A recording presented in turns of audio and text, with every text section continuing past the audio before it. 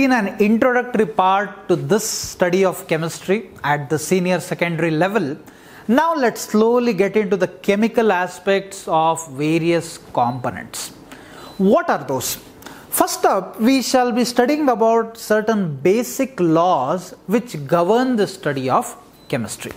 So, what are those basic laws that are being propagated here as laws of chemical combinations? So, what are these laws that let us uh, go through these parts now? So, first up, what does this matter? It is something that definitely has mass as such, but then how is this uh, nature of matter? Is it uh, particle nature or wave nature? This factor you must have just heard about in your 9th and 10th standards, but you are going to have a more deeper study at your PU level in physics. So, what we need to understand here is that matter which is present can be present in the form of particles as well as waves. Now, it so happened that certain people say for example we had greek philosophers like plato and uh, aristotle. Now they happen to believe that when you go on cutting something any particle so suppose you have a stone you cut it you cut it you cut it you will get some mud particles and all. And if you go on cutting where do you stand for? So people like plato and aristotle believe that this matter it is continuous and the process of subdivision can go on and on and on and on. They felt that there could be no end for it because how much will you keep cutting? But then there were another set of people who believed that no no you cannot go just on and on. It will probably stop at one particular step. So which means that it will have a limited number of uh, steps and then after being subdivided to a large extent it will stop at that particular space. So that indivisible particle which is there they called it as atomos. So here they called it as atomos which means it is indivisible. So that was the word which they had used that it is indivisible further now, from that itself, we got this word called as atom. But even Indian scientists, we happen to call them as Maharshis, Maharshi Kanada. So, he has proposed about uh, this atoms and all long back. But then what happens is generally the foreign people who are there, they tend to propose these type of theories at a general international level. And that is how their name comes about. So, basically, we believe that you can keep cutting the matter, but there will be one smallest particle which is there which we tend to call it as atom. So what is an atom? We'll see the definitive parts are not in the later parts. So now having understood that atom is something which is the last part which we happen to call it as indivisible. Divisible means cutting. Indivisible means you cannot go further. So with that as the basis we have a couple of uh, laws that we utilize here for our studies in chemistry. And the first one is the law of conservation of mass. Now conservation means maintaining. So what does it say is that suppose if there a reaction runs then the mass that we have at the start and the mass that we have it in the end are exactly similar. Now just for our representation this is the arrow mark that we use. I think chemical reactions you already studied in the earlier classes so you are very much aware that plus indicates which is combining multiple components whereas the arrow marks indicate that this side is getting converted on the other side. Now the representation that we show here is that whatever is on the left hand side we tend to write it as reactants because they react. So therefore reactants. And the final things that we get we call it as products. So what are products? Those compounds which we get after the completion of reaction. So in these cases you will realize that any reaction you take up the mass on the left hand side will be equal to the mass on right hand side. Now how do you get this masses? For that at this level you will have to know about the elements till at least atomic number 20 now atomic number 20 is calcium. So starting from number 1 say hydrogen till number 20 calcium. So here you should know all the atomic numbers and atomic masses also for that particular part. So without that you will not be able to understand these concepts very very clearly. So all I can show you here is that what are the numbers for it but you will need to know all this by yourselves. So just getting into the concept now about this law An example is taken where carbon is reacting with oxygen to give carbon dioxide, a very simple reaction that we come across. So carbon mass is 12 gram. This you can find it from the periodic table, atomic number 6, mass number 12. Oxygen mass is 16 gram. This once again you can find it from periodic table where the atomic number is 8, mass is 16, but since we have O2, we have it in total 16 into 2, 32. And carbon dioxide, when you actually calculate this, carbon is 12, whereas oxygen is 2 into 16. Because it is CO2, carbon is 12, 2 into 16 is 32. So how do we calculate this? Can I write it as 12 plus 32? I am going to get it as 44. So what I'm trying to make you understand here is that in total the masses which have been present here if you see in this cases here you will realize that 12 gram of carbon is reacting with 32 gram of oxygen. So 12 plus 32 is 44. Even this side it is 44. So this way you take up any reaction, you will find this law being validated. If it is not equal, it means that you have written the reaction wrongly or something has been messed up.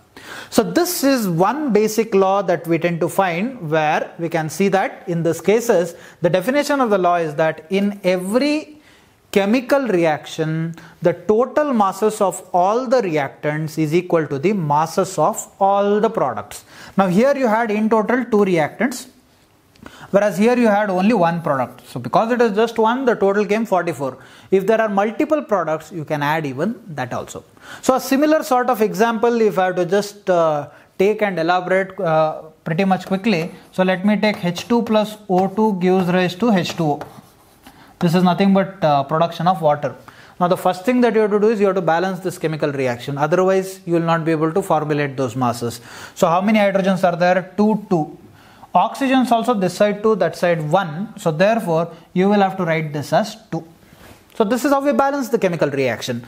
We had two hydrogens, but we also had two oxygen, whereas there it was just one. So now for that balancing I've done, but in the process what happened was hydrogen count became 4, 2 into 2, and therefore this will be 2H2. So this is how at first we write the balanced uh, chemical reaction in this cases and uh, we'll now see the further aspects of this. So this is the balanced chemical reaction that we have here.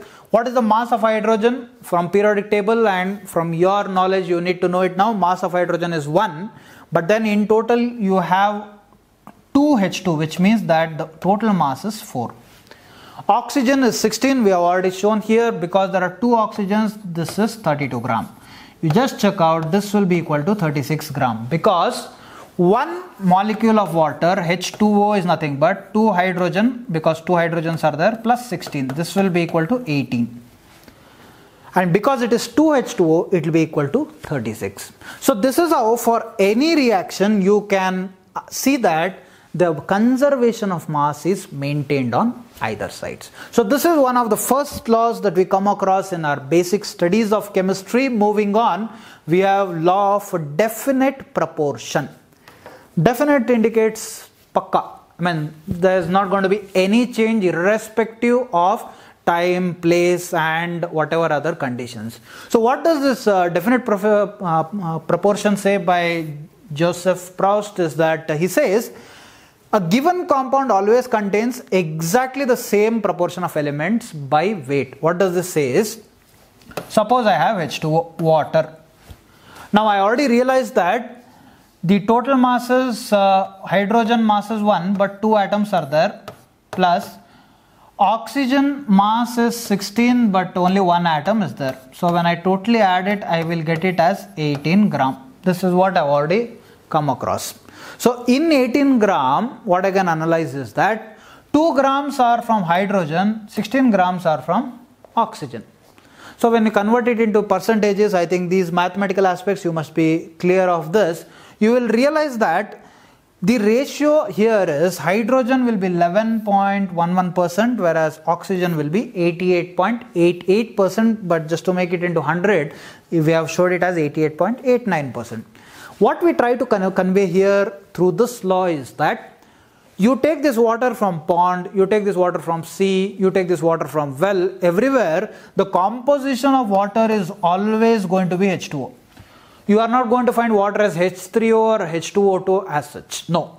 You will find it as H2O and be crystal clear that hydrogen will be 11.11% in this, oxygen will be 88.89% in this. Whether you take it from a pond, you take it from a river or any source. So, what this law tells us is that a compound has its own innate nature irrespective of where you get it.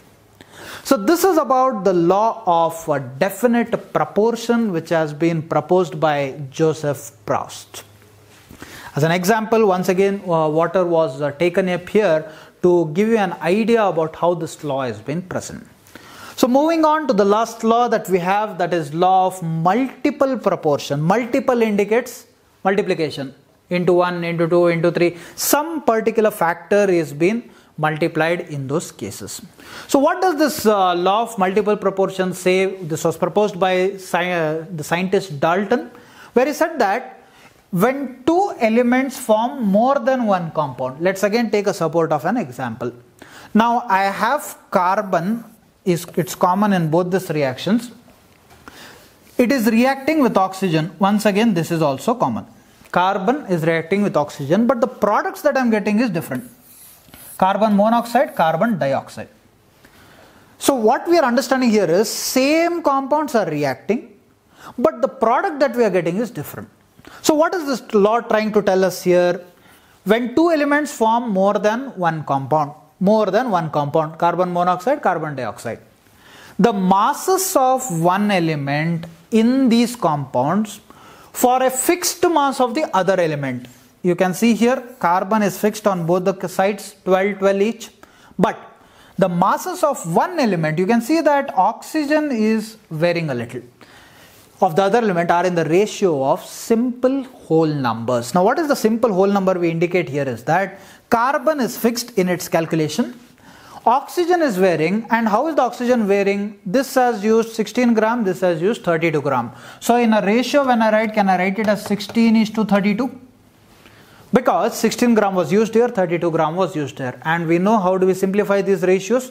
In the simplest form, we can write it as 1 is to 2. So irrespective of whatever we take, the ratio of reaction of oxygen will always be 1 is to 2.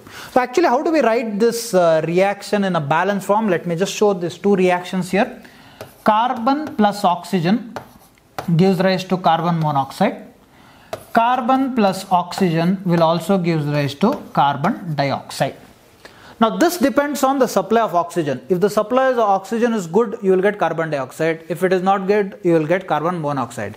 And just to balance that part, you will have to write it as 2C and 2CO2 so that balancing happens. So what we uh, try to see here is that a complete oxygen was not present here only half the amount of oxygen was present therefore you got carbon monoxide whereas required amount of oxygen was present here and therefore you got carbon dioxide. So once again just to go through the law what does it say is if you have a fixed amount of one element and if it is reacting with the same elements then the ratio of reaction is always a constant. In this case it is 1 is to 2. There may be other examples which we will be seeing later with respect to other concepts also and trying to give a relation to this where you will see that it's not always 1 is to 2 it can be varying in nature. And uh, another law that you can again familiarize yourself is the law of conservation of masses. Just count the masses here. 12 plus 16 is equal to 28. Left hand side is equal to right hand side. 12 plus 32 is equal to 44. So this is how even that law has been satisfied in this cases. So this is how we study about the three different basic laws of these chemical compositions that we have. So having seen these various laws, just a revision of sorts where so that you can understand this, you can recollect all these things and try to write down so that in examination what you write matters. No doubt understanding is important here, but when a testing is done, it is about your writing skills, your understanding of the concept, how do you present it on paper. So kindly have a good practice of this state law of conservation of mass. We have discussed this at length. So here only a statement is asked. So generally these type of questions will be for one mark as such. So you just got to write the statement. If they ask for explanation, then you can give an example like we had carbon plus oxygen giving rise to carbon dioxide. That is what you can write. Second one, state and explain the law of definite proportion. Now this becomes more so like a two marks question because you have to write statement, then you should also explain. Now what do you mean by explanation? Explanation indicates that corresponding examples you have to take. For example, the examples that we had it here about hydrogen and say oxygen. You try to take a different example because this example is something that has been explained here. If you can take a different example, it means that you have understood the concept very well. Try it out, please. Third one, explain an example to illustrate the law of multiple proportion. Now, here the law is not asked to you, but they are asking an explanation for illustration of multiple proportion. Once again, the example used here was carbon and oxygen to give carbon monoxide and carbon dioxide. If you can take some other example, it would be nice for you. Okay, so this is how we have this concept of law of chemical combinations in this chemical parts. Thank you. Sairam.